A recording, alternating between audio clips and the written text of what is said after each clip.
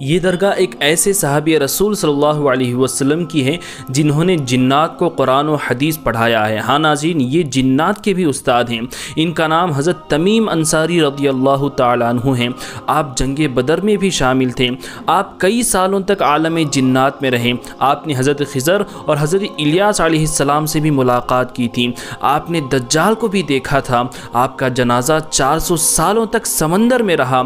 आपने अल्लाह की बहुत सारी ऐसी ऐसी निशानियाँ देखी जो आम इंसान नहीं देख सकता। आपकी ये दरगाह शरीफ चेन्नई के कवलम टाउन में मौजूद है। इस तरह के और भी वीडियोस देखने के लिए नीचे जो लाल रंग का सब्सक्राइब बटन है, उसे क्लिक करें और हमारे चैनल वील ऑफ़ इस्लाम को अभी सब्सक्राइब कर दें और इस वीडियो को लाइक और शेयर कर दें। जजाकल्ला